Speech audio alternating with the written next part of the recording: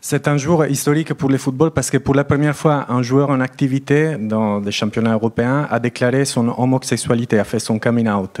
Vous êtes un joueur très important dans le monde du football. Je voulais savoir qu'est-ce que vous en pensez? Merci.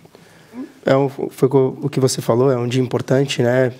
Pela, pela forma de se expressar. Acho que cada um é livre, eu não, não tenho preconceito com, com nada.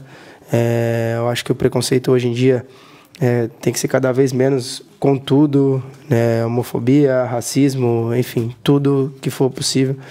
É, acho que você tem que, que ser livre, você tem que entender o que a, o que a pessoa quer, ela tem livre, espontânea vontade para fazer o, o, que, o que quiser. Então, como você falou que é um dia amanhã, eu, eu sinceramente não sabia e já peço desculpa por não estar inteirado nisso. Mas, mas foi o que eu falei, acho que é, todo ser humano tem, tem o direito de ser o que quiser, de ser quem quer. E isso você não pode né, proibir ninguém a ser o que tem vontade de ser.